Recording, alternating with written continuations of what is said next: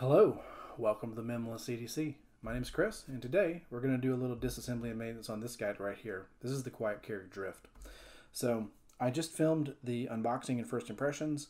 Uh, if you watch that, I, I, was noticing that the, the close on it is a little tight. Um, I'm thinking that's just a little bit uh, lack of lubrication from the factory. So what we're going to do is going to take this guy apart. We're going to add a little bit of KPL. We're going to get it running good and put it back together. So uh, I've never been in this knife before. I don't know the internal workings of it, but so we're going to go on this journey together. Uh, one of the nice things about Quiet Carry, uh, at least this model, is everything's T8, so we only need one bit driver.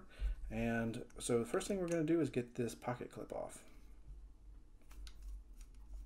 Okay, and I can actually feel the, um, there's a little plate on the other side right here that is, as I was working on it, it was coming off as well. So, all right, we got the pocket clip off. I'll set that over there. And it looks like this little guy wants to come out as well, so I'll put it with the pocket clip so that we all have like to like, because I think all these are going to come out as I take the screws out. All right, we're going to get the other one of these out. Giving me a little resistance. I don't think there's any Loctite in there. It may just be from the factory. Yeah, so. Uh, that one's staying in there, which is perfectly fine by me. So set that guy by himself. And then we will get the pivot out. Oh, feels like a captured pivot. Fantastic.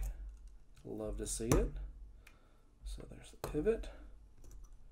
And that comes right off. Fantastic. So here's a neat thing. Um, we have these weight relief uh, sections where uh, it's it looks like the way that they've done this is to maintain balance. So you have a, a, big one here and three little ones here rather than just like one long channel that routes all this out. Uh, I'm a fan of that. The, the knife felt very balanced when I first opened it up and was handling it. So I think that they did a, a, a really fine job with keeping the balance in mind while they're also doing weight relief. And so you also see your lock bar right here, your lock bar insert.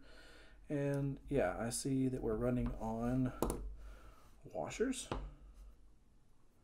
which makes a lot of sense with the kind of the purpose of this knife being a aquatic or dirty environment knife. You don't really want your knife to be clogged up with um, dirt and grime in the washers. So, but nevertheless, we're going to take this apart. We're going to use a little bit of bargain basement rubbing alcohol to clean things up. So all I'm going to do here is take the washers and use a little bit of rubbing alcohol to get them cleaned off. Perfect. And then I'm going to get any gunk and grime from the factory right here. And you see that we do have indeed have a D-shaped ring, which is our captured pivot. And then more of this milling, which is like nickel dime quarter size that uh, pulled out uh, material here to make this thing incredibly light for what it is. And I don't think I really have to do anything else. Uh, I'm gonna just put put some KPL on there, and while I'm while I am lubing up this knife, if you could throw a like and subscribe, that would be lovely. Helps me grow the channel. As of posting this, I'm almost at 100 subscribers, so I'd like to hit that milestone and then keep growing. So we're going to put that there. And then our pivot's going to go back in. First try, proud of myself. And just put a dab of oil here. Again, I always over oil these things. Uh, the oil will come out in the first few flicks of the knife and then I just wipe it off the blade. I'd rather have a little extra oil than not enough. And so this is going to go back right here. And then I'm going to put a little bit of oil on in the detent ball hole and then kind of drag it through the detent ball track. And then a little bit of oil right here. One thing I would like to see on, on more knives is a detent ball ramp where it's basically a little cut in the uh, metal right here so the detent ball doesn't have to jump up onto the ramp. It just kind of slides up but that's just a slight nitpick. I would like to see more makers do that. And then I'll put a little bit of oil on the washer. All right, washer is done. Um, one thing that I want to call out and look at this guy.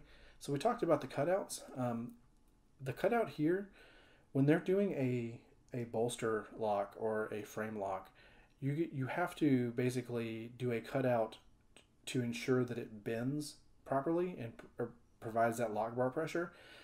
I'm going to throw a huge shout out to companies that put that lock bar cutout on the inside of the scale rather than the outside of the scale. It just makes it look better, in my opinion, where you don't have that divot and cutout on the on the backside.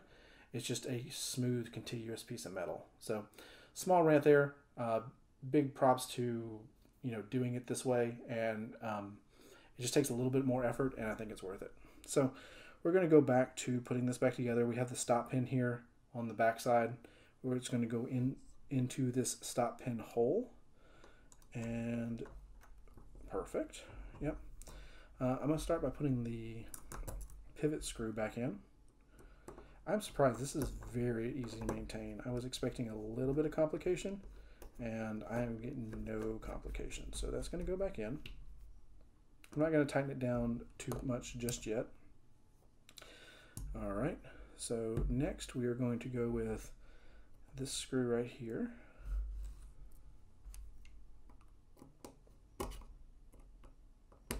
Get that guy in nice and tight, and then so this little barrel is going to go back into the scale and connect to the other side.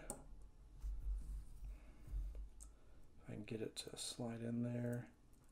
Maybe I spoke too soon. Oh, it is a D-shaped ring. So this one actually is shape dependent as well. So let's take a look at that. See how that has a D-shaped, a flat side? So it only goes in one way. All right. So I just need to figure out which way is the right way. And voila, there it goes in. Um, very cool that the maker decided to put a, a D-shaped into those barrels as well. That way you only have one way. And I like putting things in the right way, so I appreciate that. Um, it's mandatory to put it in the right way. Next, we are going to put this guy in to secure our pocket clip. So I'm getting a little resistance, so I'm going to back it out. Yep. There we go. Make sure it don't. If you get any resistance on these screws, don't force it. Back it back out, and then try it again. You don't definitely don't want to misthread them. So where do we got? Um, it's a little off center. tighten it up a little bit. What do we got now? Oh yeah, that's centered. So put our oil away and see what we got. Oh, that is that is very tight. That is not good. So let's back that off a little bit. I'm just gonna half turn. Okay, much better. Yeah, so side to side, get a little bit of side to side play. So I'm to do some micro adjusting. Go. Side to side's gone, front to back is non-existent. And I don't think this is ever going to be a drop shotty blade.